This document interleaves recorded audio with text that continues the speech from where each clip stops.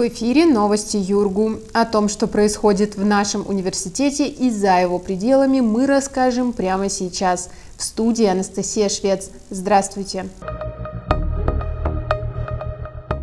Работа приемной кампании «Юргу» продолжается. Подробнее о наборе в магистратуру Высшую школу электроники и компьютерных наук расскажем в сюжете. В Южноуральском государственном университете продолжается работа приемной кампании 2024 года. В новом учебном году ЮРГУ предлагает более двух с половиной тысяч бюджетных мест, из которых на бакалавриат, специалитет, магистратуру и аспирантуру приходится 448 целевых мест.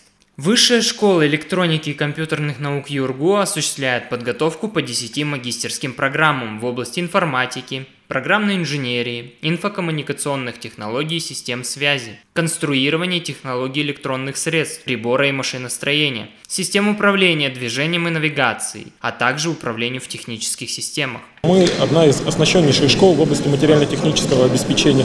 У нас есть лабораторные центры, у нас есть э, научные лаборатории, и в этом отношении у студентов есть все необходимое для того, чтобы освоить э, понравившиеся им специальности. Вплоть до того, что у нас доступны такие лаборатории, как FabLab, где студенты могут самостоятельно обучаться, в частности FabLab по электронике оснащен всем оборудованием, необходимым для разработки и конструирования электронных устройств в единичном экземпляре. Студенты часто этим пользуются и разрабатывают отдельные приборы, устройства, которые в дальнейшем пытаются продвинуть различные конкурсы, и в том числе это некие прототипы будущих устройств, которые они продвигают как собственный бизнес в части технологических акселераторов и стартап-программах.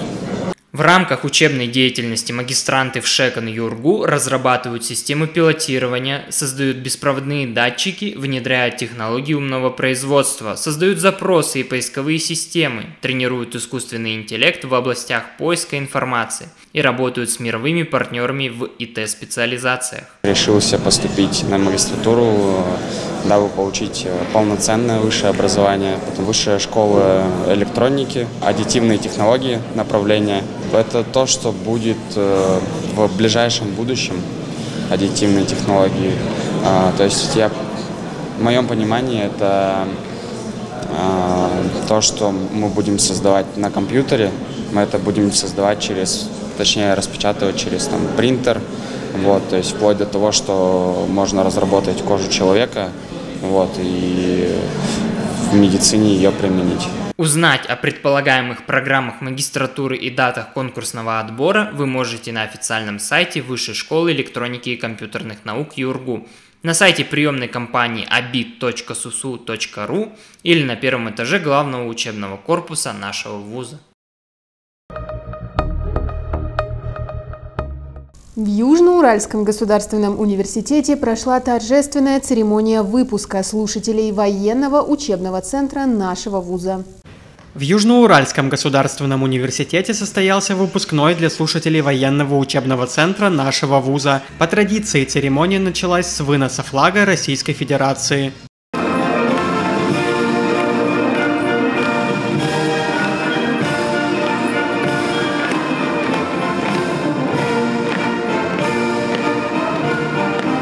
В этом году выпускниками ВУЗ ЮРГУ стали более 640 слушателей. На данный момент военно-учебный центр занимается подготовкой офицеров, сержант и солдат запаса по 15 военно-учетным специальностям для танковых войск, войск связи, арсеналов, баз и складов ракет и боеприпасов, а также для службы защиты государственной тайны вооруженных сил Российской Федерации. С торжественным словом к выпускникам обратился ректор Южноуральского государственного университета Александр Вагнер.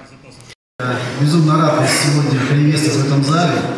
И на самом деле, вот стоя перед вами здесь, на этой сцене, меня переполняет чувство гордости. Чувство гордости за новых сынов нашей страны, за будущее нашей Родины, за будущее нашей страны, России, их отраслей, городов, университетов. И передо мной сидят настоящие сыновья нашей страны, настоящие мужчины, которые прошли долгий путь. На мероприятии преподаватели ВУЗ ЮРГУ совместно с ректором нашего вуза Александром Вагнером вручили дипломы и памятные подарки лучшим выпускникам текущего года. В этом году красные дипломы получили более 60 слушателей военного учебного центра. Обучение в военном учебном центре при ЮРГУ проходит в два этапа. На первом обучающиеся изучают теоретическую базу по программам подготовки. На втором проходят обязательные 30-дневные учебные сборы на базе учебных соединений и воинских частей, в рамках которых слушатели принимают воинскую присягу, а после сдают итоговый экзамен. Успешно сдавшие экзамен и принявшие военную присягу студенты аттестуются и передаются в запас с присвоением им соответствующих воинских званий.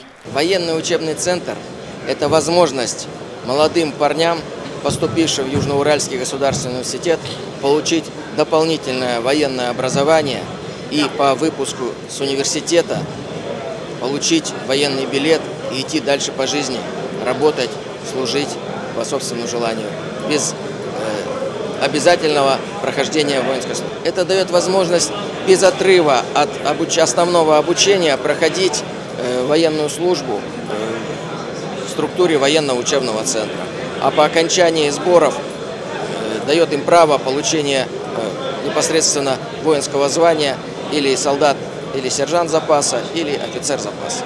Более подробную информацию о военном учебном центре и критериях отбора можно узнать на сайте ВУЦ, а также в группе военного учебного центра ЮРГУ ВКонтакте.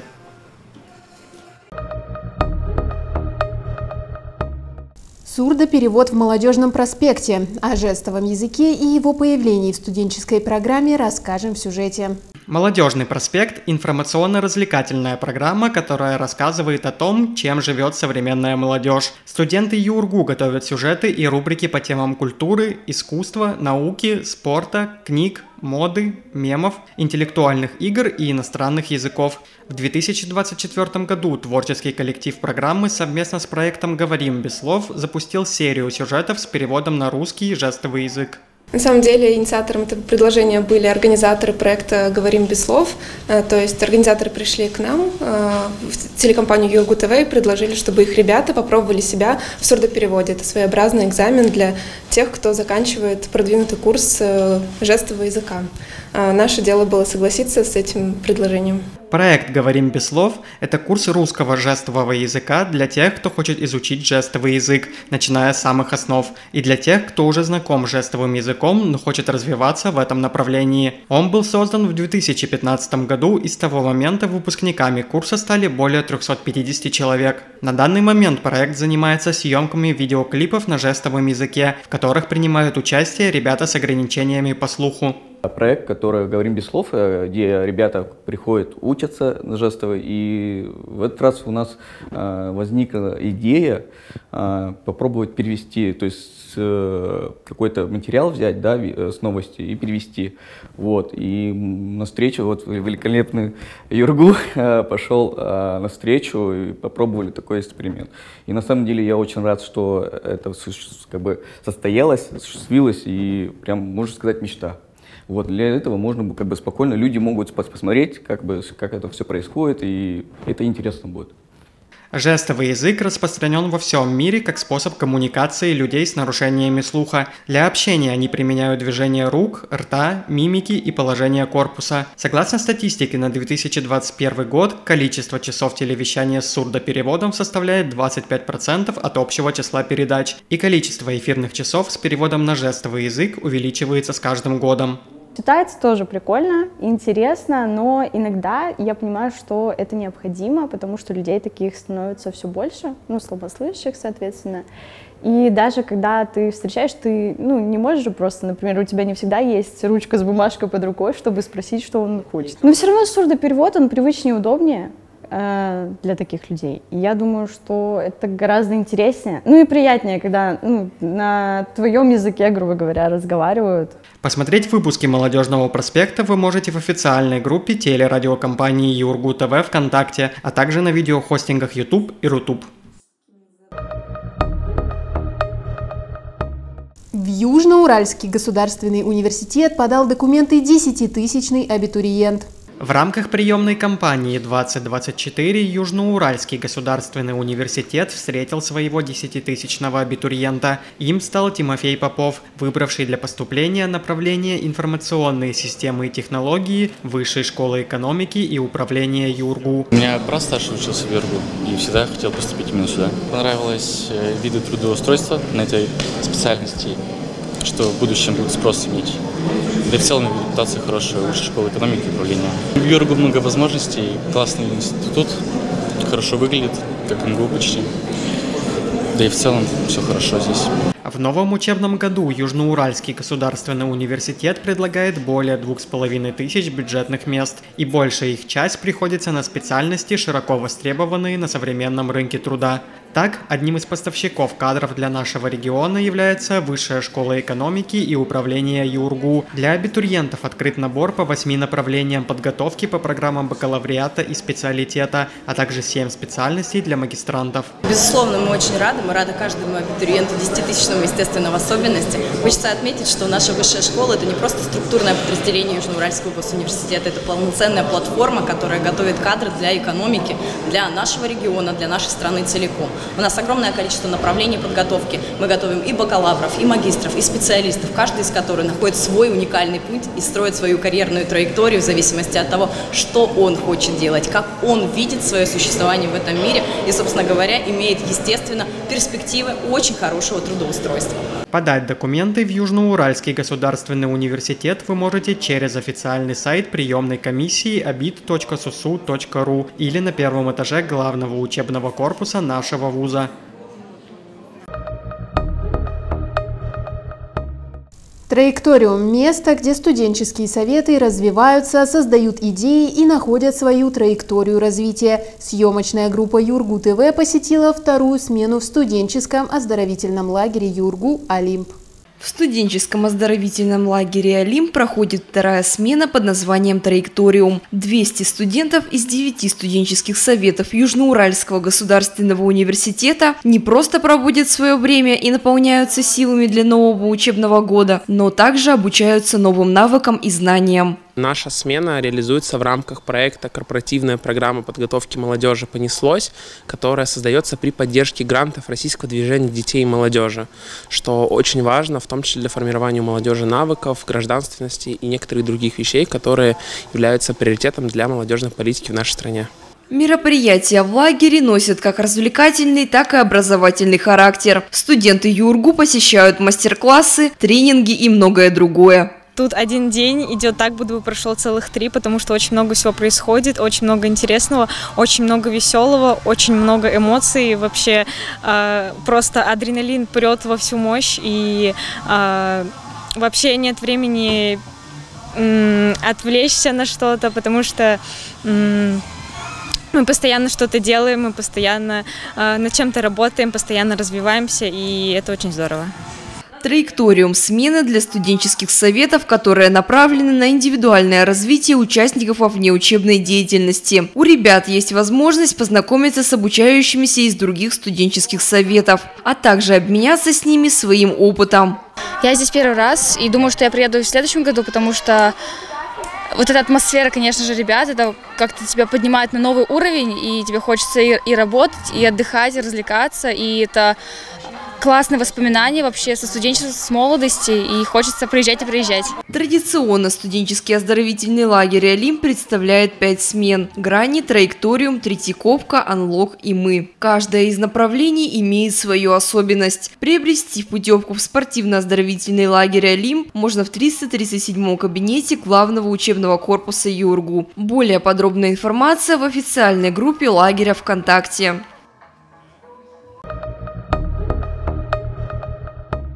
В Институте медиа и социальных гуманитарных наук ЮРГУ прошли творческие испытания для абитуриентов, поступающих на направление журналистика. Для абитуриентов ЮРГУ стартовали творческие конкурсы. Так, на кафедре журналистика, рекламы и связи с общественностью будущие студенты попробовали себя в роли журналиста. Творческое испытание направлено на выявление индивидуальных способностей абитуриента. Все, кто проходил сегодня творческий конкурс по журналистике, произвели просто прекрасное, какое-то даже, я бы сказала, неизгладимое впечатление тем, что, а, они готовы прийти в профессию журналистика, они, б, понимают, что эта профессия – профессия социально ответственных людей.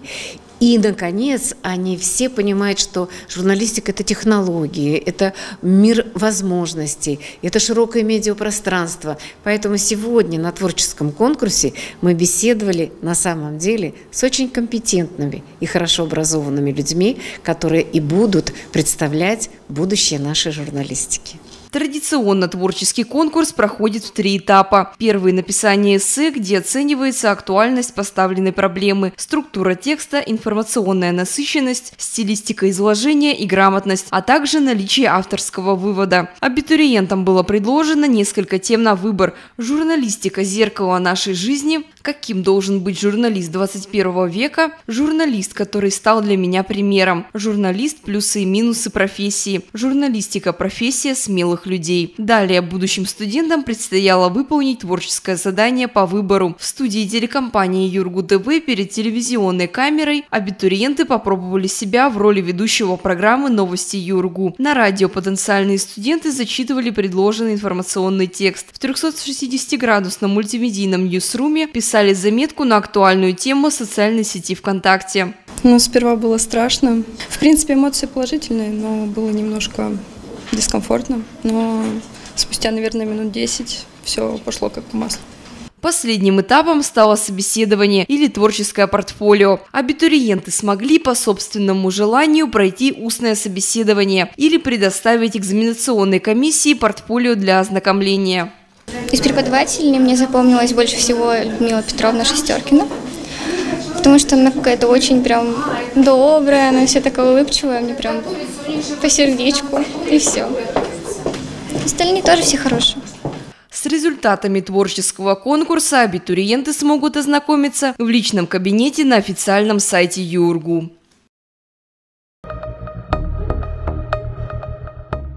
Между ЮРГУ и организацией, осуществляющей деятельность по профилю соответствующей образовательной программы, было подписано соглашение о практической подготовке обучающихся.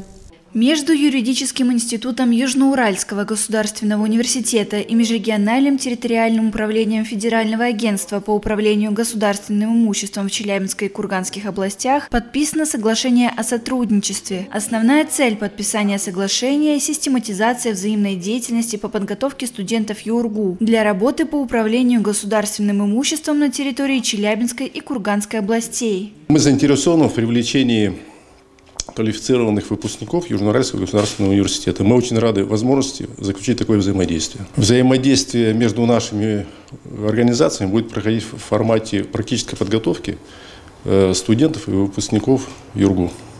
Оно будет проходить на площадках э, э, наших отделов, отделов управления Росимущества Челябинской Курганской области.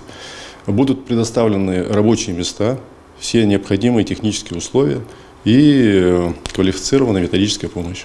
В рамках взаимодействия у студентов ЮРГУ будет возможность получать практическую подготовку на базе организации, а также трудоустроиться в межрегиональное территориальное управление Росимущества в Челябинской и Курганской областях по окончании обучения. Студенты и выпускники нашего университета смогут получить необходимые знания и навыки в практической деятельности совместно с отделами управления, которые предоставят всю необходимую техническую и квалифицированную помощь. В первую очередь это практика в одном из важнейших государственных э, институтов, это Федеральное агентство по управлению федеральным имуществом, поскольку на сегодняшний день функционал Росимущества очень велик. Это не только управление федеральным имуществом, это вопросы приватизации, вопросы работы с арестованным имуществом. И, конечно, для наших ребят это уникальная практика, уникальный опыт. Соглашение между юридическим институтом ЮРГУ и МТУ Росимущества направлено на создание высокоспециализированных специализированных кадров, а также создание перспективных возможностей для трудоустройства и трудовой деятельности. Также юридический институт ЮРГУ и МТУ Росимущества в Челябинской и Курганской областях планируют научно-практическое рассмотрение вопросов развития законодательства в условиях национализации предприятий. На сегодня это все новости. Берегите себя и будьте здоровы. Смотрите выпуски новостей в социальной сети ВКонтакте, на видеохостингах YouTube и Рутуб, а также платформе Яндекс.Дзен. До встречи в эфире.